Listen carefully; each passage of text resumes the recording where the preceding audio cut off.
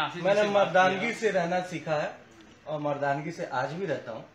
मैं रोने वाला इंसान नहीं हूँ फेसबुक पे। हाँ इस देश में कानून है जिसके अंदर में हम सभी लोग जीते हैं। तो क्या करना है वो? आगे। मतलब कार्रवाई करेंगे आप? हाँ हमारा कहना है। ऐसे तो छोड़ेंगे हम भोजपुरिया जहान आप लोग के रिपोर्ट में बतावे जा रहल बानी कि आप लोग के पता बा कि खेसारी लाल यादव और रितेश पांडे में विवाद छिड़ल रहे। एगो गाना के लेके। जी हाँ भैया, आखिर वो गाना पहले के गईले बा? आखिर वो गाना के ओरिजिनल हकदार के बा? अभी तक पता ना भइल। काहे कि रितेश पांडे कह रहा बड़े कि हमार गाना ह। खेसारी लाल यादव जी के कहना बा कि हमार गाना ह। अखिलेश कश्यप लिखले बाड़े खेसारी लाल जी कहतारे तो रितेश पांडे जी कहतारे कि आशीष वर्मा जी लिखले बाड़े। आप लोग बतावल चाहते गाना के लेके विवाद छिड़ल। खेसारी लाल यादव के पहले गाना रिलीज़ रहे, वीडियो भी रिलीज़ भइल रिकॉर्ड बना दिलस, बहुत बड़ रिकॉर्ड बनैले बा।